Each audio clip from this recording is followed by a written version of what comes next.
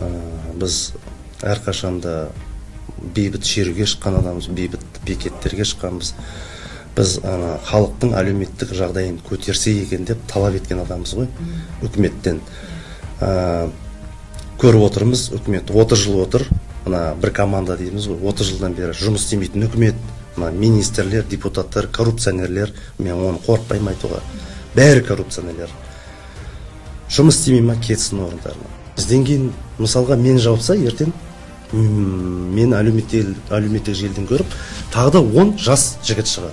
Лидер болып белсенділігін танытып. Ол ешқашан тоқтамайды.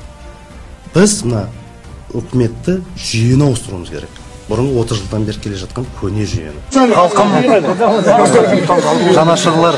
Рахмет сіздерге көп көп қолдаған үшін рух беріп маған шындық айтсам уайымдамай ә, отырдым.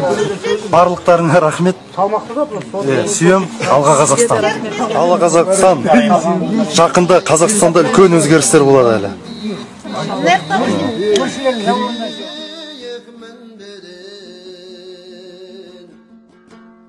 Өйткені олар ақиқат пен шындық